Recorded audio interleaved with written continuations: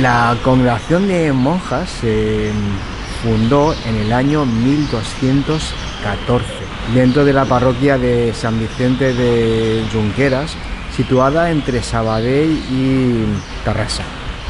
Pero ahí no se quedaron, ya que más tarde, en 1293, se mudaron otra vez a su emplazamiento definitivo en Barcelona, en la calle Junqueras. Pasan los años y fue ya durante las guerras napoleónicas, en 1810, cuando se disolvió esta orden. En 1867, Jerónimo Graney reforma la iglesia, pero esto duró poco porque dos años más tarde llegó el decreto que tenía que derruirse esta iglesia.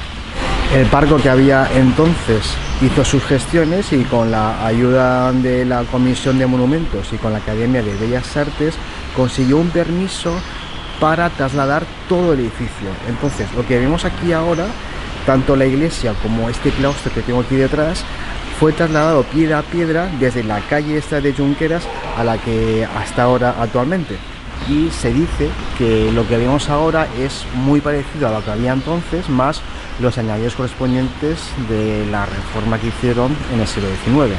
Entonces, las pinturas que hay y los vitrales son, claros, del siglo XIX-XX, pero la estructura que vemos, estas piedras, podemos decir que es un edificio superviviente de toda la vorágine urbanística que hay en Barcelona a partir del siglo XIX.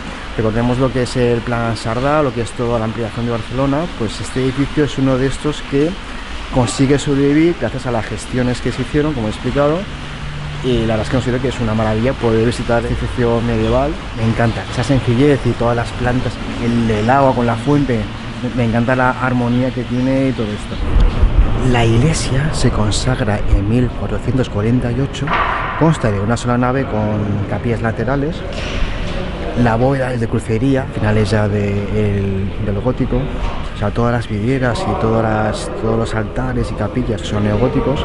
Dentro un rato hay misa, entonces ya pues no podré estar aquí ya mucho tiempo más. Pero bueno, como os he dicho, es un ejemplo claro de supervivencia a la vorágine urbanística que tiene cualquier ciudad que crece. Muy chulo. El campanario que hay aquí no es original de esta iglesia, sino que proviene de la iglesia de San Miguel, se derrulló, pero ese campanario se aprovecha y se traslada aquí. Aquí se ve el cambio de piedra de aquí a aquí. Y luego, por ejemplo, se ve que esta piedra es como esta, pero que hay un cambio de piedra. Eso se debe a las partes que son aprovechadas y las partes que se hacen de nuevo a finales del siglo XIX, por como he dicho antes. Estamos ahora aquí esperando a que acabe la misa. No se puede filmar ni fotografiar durante la misa, entonces vamos a esperar aquí en la entrada.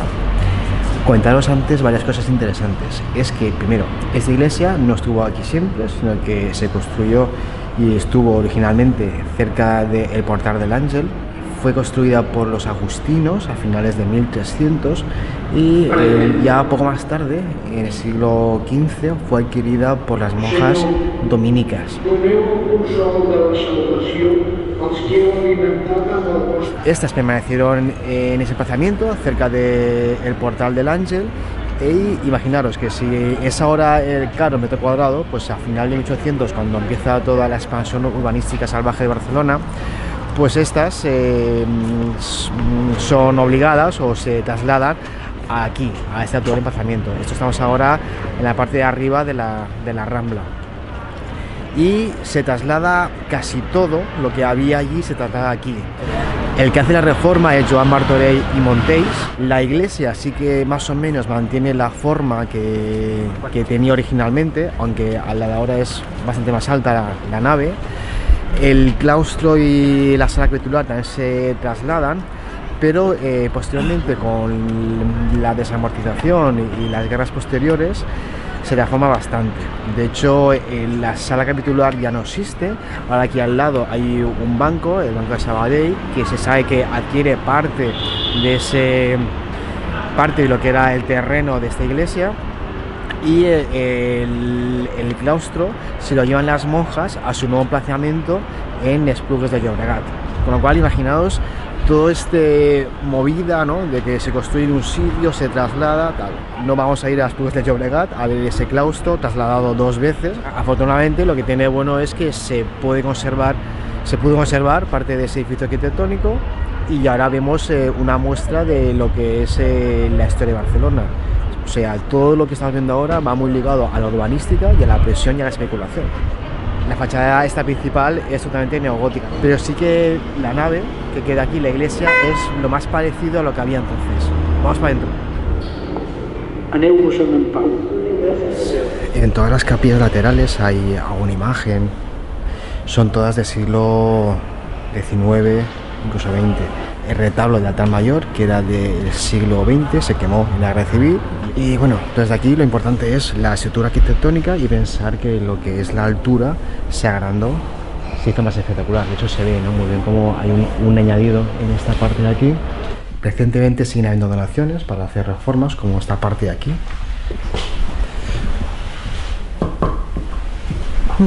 Así que bueno, historias de la especulación de la urbanística y de tener un poco de sensibilidad para poder guardar y proteger el patrimonio artístico. Hemos ido a comer a un restaurante peruano en el cual sobre todo es famoso por su ceviche. Aquí pedir ceviche si os os gusta, así que recomendable que seáis fan del ceviche o a menos del pescado que se hace a la brasa. Y ha venido el amigo Emilio, que, que- He venido yo hoy que también a es de aquí. el ceviche. te, ha- te ha- te ha gustado el ceviche? Me ha gustado, sí, sí, sí. Sí. ¿Y a ti qué tal?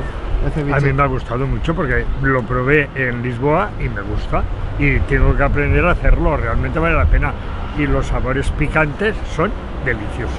La verdad, recomendable. El pimiento rojo este que es agilimo, que eso pica más que esto. Vale. Más que eso, Agilimo. Agili. Agili. Ají de ají, limo. Porque suelen ser rojos y amarillos. Yo no soy muy fan del ceviche. Y de este grasas. me ha gustado, no está mal. Pero bueno, hemos probado comida internacional que está muy de moda ahora, la comida peruana. Así que otra comida distinta para aquí en Barcelona. Continúa la ruta.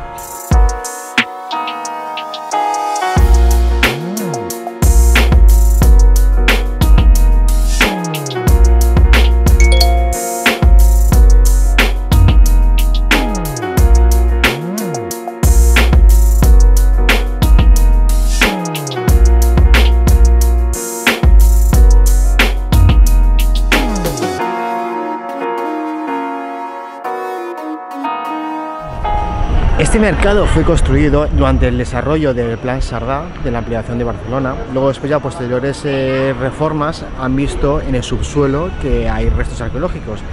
Se conserva una gran parte de lo que es el baluarte del siglo XVII. Aquí se ve un, lo que sería un desagüe. Hay un panel que explica el sistema defensivo que era la función de todo este baluarte. No hace mucho, más o menos desde el 2016-17, que se puede visitar musealizado lo que es eh, este mercado. Y además eso, en la parte de arriba y abajo tenemos un mercado que es centro comercial más o menos, pero aún conserva lo que es un mercado tradicional. Por aquí pasa un tramo de la vía Augusta con mausoleos a sus lados. Me he encontrado con los de seguridad, les he preguntado sobre el tramo de la vía Augusta y ellos me dicen que sí, que se está excavando, pero que no es visitable. Así que solamente se puede ver el tramo de baluarte del siglo XVII. Bueno, sí. Ah, que yo soy de Valencia. Y yo de Castellón. A la postura grabando, grabando. ¿Y quién pone los horarios? ¡Ah, que no te grabando! ¡Qué fuerte, vámonos! Me muero de la vergüenza. Acabamos ya a Barcelona. Ahora más capítulos esperamos. Y bueno, nos vamos ahora a tomar, tomar ca- un café. A, tomar café y a seguir comiendo. A la salud de todos los que nos estén mirando. A descansar una mica, un café y a ver a Roca. A Enric Bueno, Roca, que estos están fatal. Bueno, hasta la próxima. Adiós.